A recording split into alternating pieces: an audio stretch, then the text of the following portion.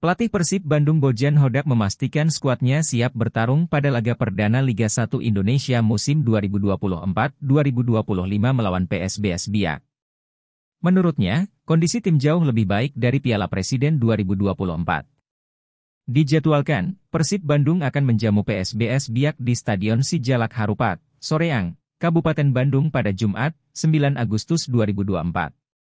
Hodak mengabarkan, dua gelandang Persib Mateo Kocijan dan Mark Klok sudah berangsur pulih dari cedera. Timnya pun tengah melakukan persiapan dalam beberapa hari ke depan. Juru taktik asal Kroasia itu pun yakin pemainnya dalam perasaan yang bagus kembali ke Liga 1 sebagai juara bertahan.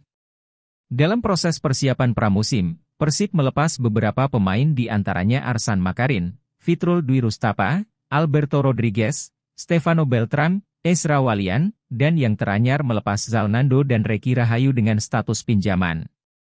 Namun, Pangeran Biru juga mendapatkan pemain pengganti yakni Matteo Kocijan, Gustavo Franca, Dimas Derajat, Adam Alis, dan rekrutan terakhirnya Mileson 5.